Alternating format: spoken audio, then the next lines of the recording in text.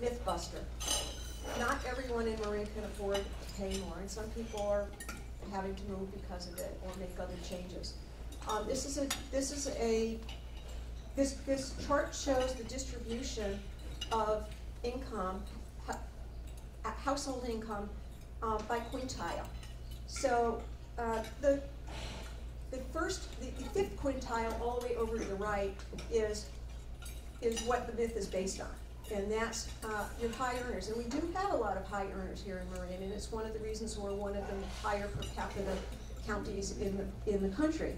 Um, the median income in that fifth quintile is three hundred and so for them, the incremental parcel taxes really don't, are, are a drop. Um, down in the first quintile, the median income is nineteen thousand.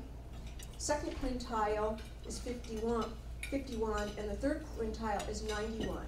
Now, I submit to you that, that second and third quintile, they have a fair number of homeowners in there. Homeowners are the ones who pay the parcel taxes.